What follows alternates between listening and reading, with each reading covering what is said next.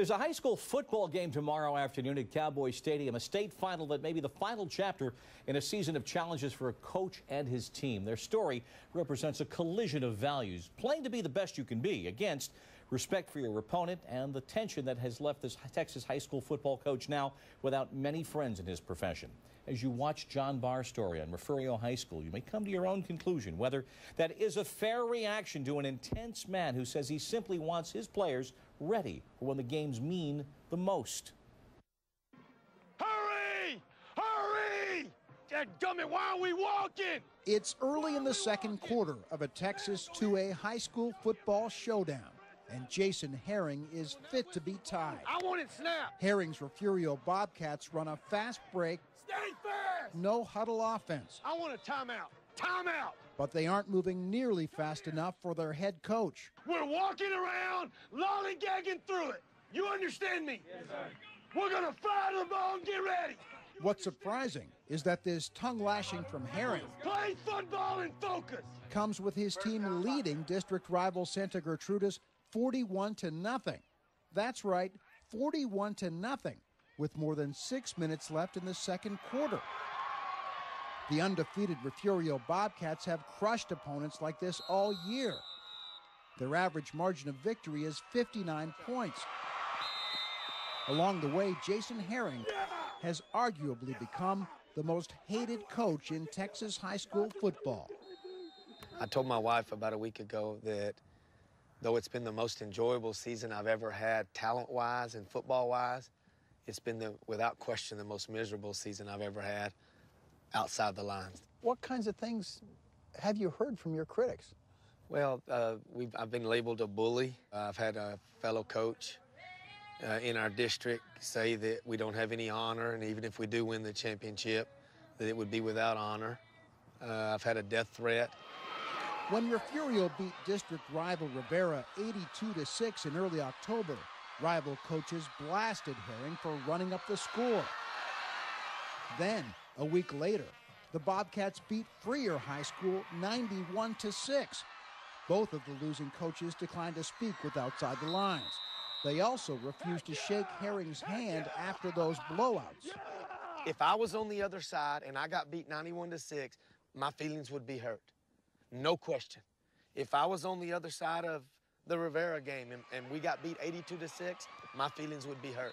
I would be upset for my kids. I would be hurt. I would be embarrassed for my kids. It's just this margin of 90. Does it have to be 90? Let's go, son. Come on. Hebbronville High School head coach Bobby Garza and his staff feel like it was an accomplishment to only lose 69 to 13 to Refugio earlier this year.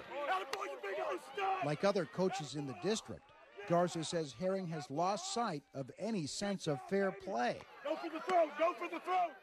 What are they proving? Yeah, they are a better team than us. You know, one point, two points. Hey, y'all won. But 90 points, you know, that's that's tough to swallow. We got to remember sometimes it's the kids playing and not the adults. Robert Perez is Hebbronville's defensive coordinator. They're going to have to score as many points as they want, honestly. But there comes a point in the game where enough's enough. Tell me this, what is too high? Is it 40? Is it 60? Is it 70? Is it 80? Is it 90? Where, what is the rule?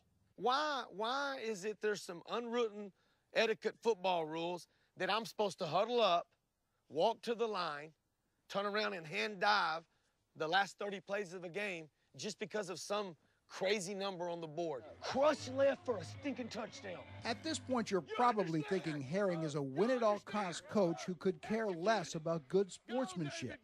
But he wants you to understand where he's coming from. The smallest high school in its district, Refugio has only 119 boys. 90 of them came out for the summer football strength and conditioning program. The town's main street may be lined with abandoned storefronts, but its high school has a brand new indoor practice facility. Young boys grow up in Refugio with dreams of playing under the Friday night lights. And Refugio teams, dominant since the late 60s, have routinely racked up the points. We've played 22 district games here in the last four years. 22. Of those 22, 19 of them were 50 to nothing at halftime. 19 of the 22. For his first four years as Refugio's head coach, Herring says he followed the coaching code's unwritten rules, pulling his starters for the second half if he had a big lead. In each of those four years, Refugio has entered the playoffs ranked number one in the state, and each year, it's failed to win a state championship. After last year's heartbreaking loss in the semifinals, Herring was convinced his Bobcats didn't have the stamina to go four quarters against stiffer competition. The one single thing that I think kills us every year more than anything is our kids only get to play two quarters of football for most of the regular season when everybody else out there plays three or four quarters. Let's go, kids! So this year, even in a district where the balance of power is so clearly tilted in his favor, Herring decided to take the reins off and let his starters, like Baylor University bound receiver Lynx Hawthorne, play at least three quarters. The result has been blowout after eye popping blowout. What did you anticipate the reaction would be when you decided to adopt that coaching philosophy? Well, obviously, I had no idea that it would be what it what it's turned out to be. I mean, it's it's been crazy, guy. I mean, I've been my reputation honestly is ruined in the entire state. There's probably a lot of people that don't like me, but I'm going to tell you honestly, I'm a pretty good guy. I love you, dude. You hear me? I'm proud of you. I mean, I love kids. I would never hurt kids. I know it does look bad sometimes on the scoreboard, but we're just playing 100%. And in the fourth quarter, it's backups, but you know, they practice all week. And when they get in the game, they're going to go 100% no matter what. They don't want to go down as they catch the ball or something like that. They want to play too. It's never been about the number. That's what's so frustrating to me. Everybody looks at the number and sees 70 and has no idea that 61 of those were in the first half and that all the other ones came with our second and third string with the running clock. Let's go, kids! Refugio's game against Santa Gertrudis in late October reflected its regular season. The Bobcats ran 11 plays and scored six touchdowns en route to a 48 0 halftime lead.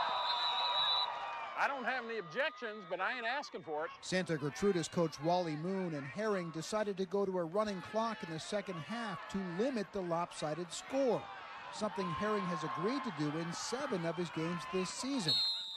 We have all backups in, right? Gossip. And Herring took out his starters after the third quarter. But Santa Gertrudis players and coaches could only look on in disbelief as Refugio, leading 68 to nothing, scored yet again as time expired.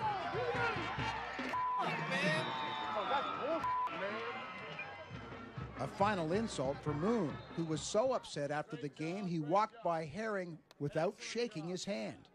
Oh, I just a little aggravated. Why didn't you shake his hand? Well, it's it's kind of my way of saying you didn't really have to score that last one. We must get better for down the road. You understand that? Such is the taste of victory for Jason Herring on Friday nights in South Texas.